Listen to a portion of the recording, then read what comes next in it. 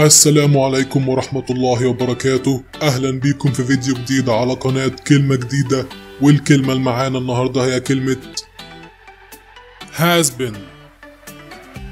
has been. يعني إيه has been has been يعني a person who was important or popular. يعني واحد لم يعد مهم أو معروف كما كان في الماضي. ناخد مثال. He was a great actor but today he is a has-been. يعني هو في الماضي كان ممثل عظيم لكنه دلوقتي ما بقاش مهم ومعروف زي ما كان زمان.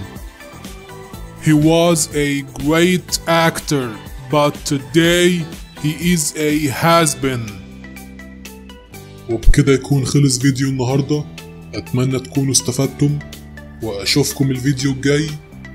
مع السلامة.